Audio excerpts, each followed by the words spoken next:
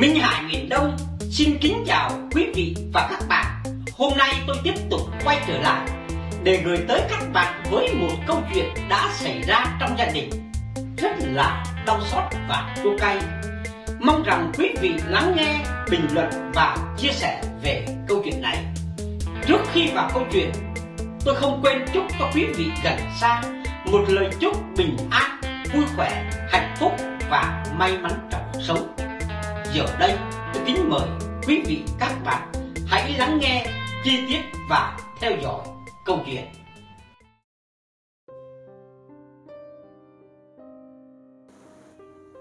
Sao chỉ cứu vợ mà không cứu con? Hay ông ấy sợ nó là cánh nặng nên muốn nó chết cho rồi, nhẫn tâm quá. Anh Hậu và vợ cưới nhau được 6 năm và đã có một cô con gái nhỏ 4 tuổi.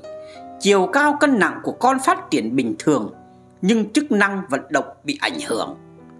Vợ anh sinh thiếu tháng khi cái thai chỉ được 7 tuần lại bị chấn động mạnh do chị bị ngã xe.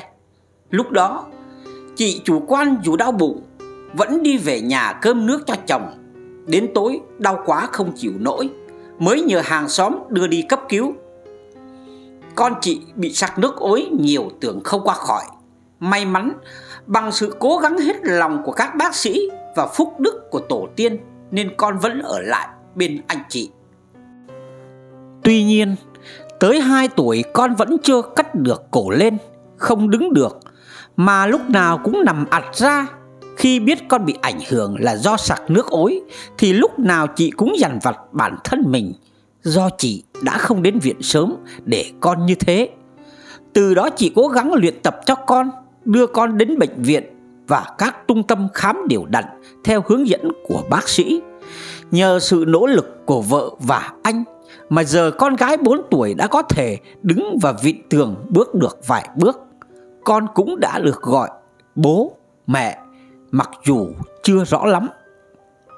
Anh Hậu là công nhân. Từ ngày sinh con vợ lại chỉ ở nhà chăm con rồi tiền thuốc thang cho con bé, nên nhà anh thuộc vào diện nghèo của xã. Lúc nào cũng thiếu trước hụt sau cho dù anh đã cố gắng làm ngày, làm đêm và không nghỉ chủ nhật.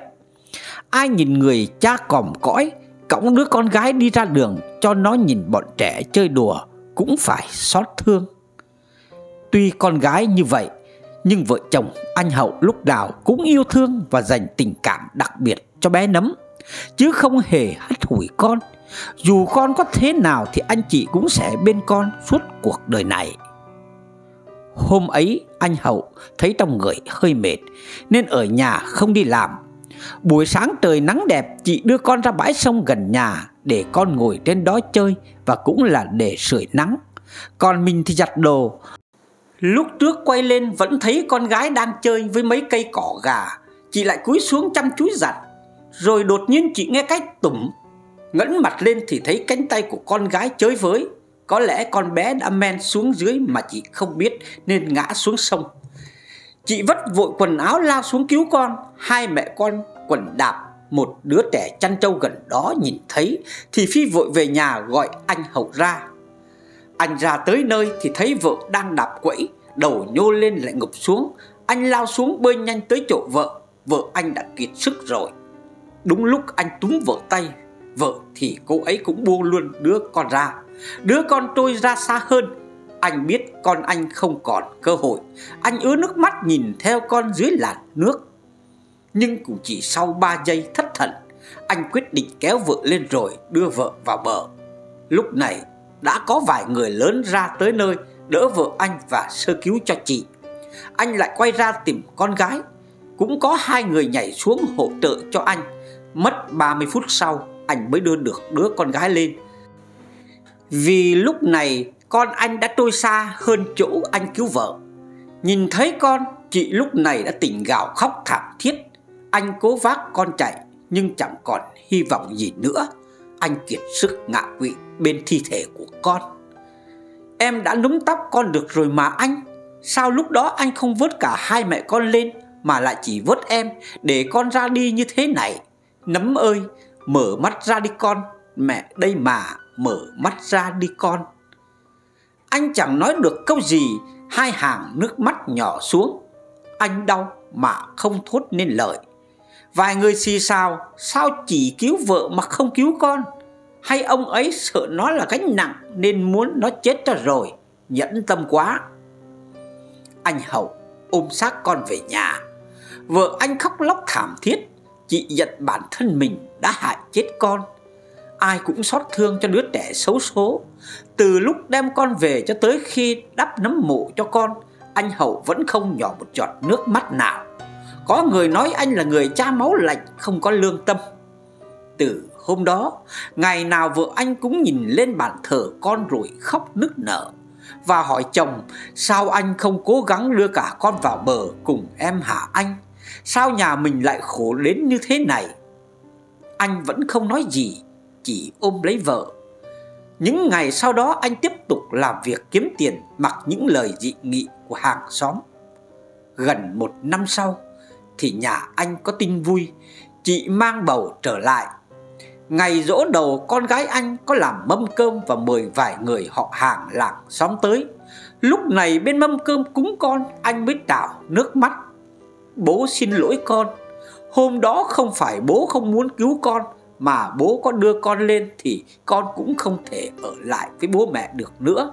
Mẹ con lúc đó vẫn thoi thóp, Nên bố đành đưa mẹ lên trước Con sống khôn thác thiêng Thì hãy phù hộ cho bố và mẹ em con. Bố hứa kiếp sau sẽ không bao giờ rời xa con nữa đâu. Mọi người lúc đó mới hiểu được nỗi lòng của anh hầu Hóa ra bao lâu nay anh một mình Vừa chịu đựng nỗi mất con, Vừa chịu sự oán trách của mọi người. Bố mẹ nào mà chẳng thương con, Thấy con đau đã như đứt từng khúc ruột rồi, Chứ đừng nói rằng thấy con chết mà không muốn cứu. Anh Hậu cứu vợ trước mà không cứu con trước, Vì anh biết rằng anh có thể mang lại sự sống cho vợ, Chứ không thể mang lại sự sống cho con trong cái thời điểm ấy người bố ấy thực sự đáng để chúng ta khâm phục. Vâng, thưa quý vị và các bạn, câu chuyện đầy xót xa, đau lòng cho một người làm cha. Hai mẹ con rơi xuống sông nhưng chỉ cứu được một người và người con gái bé nhỏ đành ra đi.